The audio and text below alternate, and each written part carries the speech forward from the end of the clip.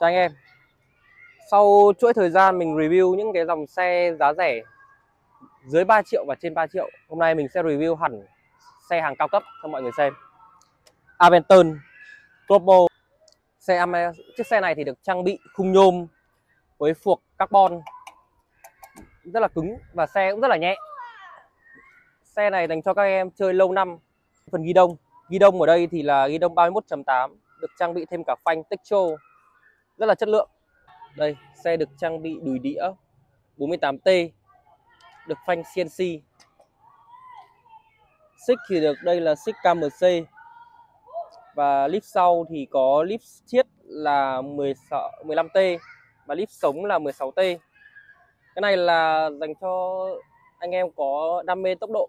Xe được trang bị bộ vành vành 3.5 kèm theo lốp Kanda 700 x 25C rất là êm. Ngon như thế này, thì giá cũng phải chát rồi. Giá của anh e, em xe này thì đang là 14 triệu tròn.